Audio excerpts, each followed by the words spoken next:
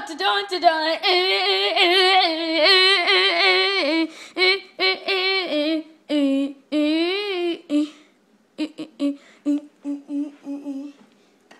Once upon a time.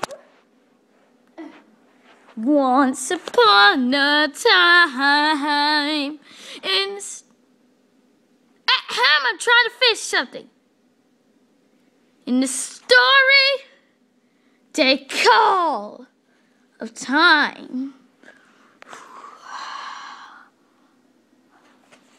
There was once a young filly named Cherry Berry. She went into the house when she was really, really young. But something bad happened. She didn't come out and she got an inside the house hung a vampire. Vampires were white. Sorry, I'm still doing it. Sorry, guys. I'm not tired. Oh, dang it. With one chomp from the vampire, the young filly noticed that Plum Sweet, the vampire mom, was actually her mother. So now the mare and her mother lurk inside, but they have the secret deep inside their soul. They can't tell no pony. They'll freak out on their secret.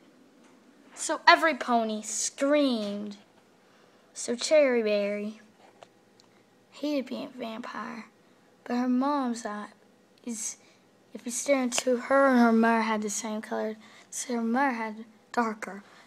Her mother was evil, but she was not. So, what will happen? Uh oh.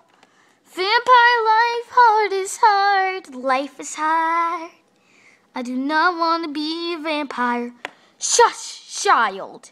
You have to be a vampire. Like me. See what you can do? You can make things swing. Ah! You can even make chan- in the chan- when the chandelier spin, when the chandelier shakes.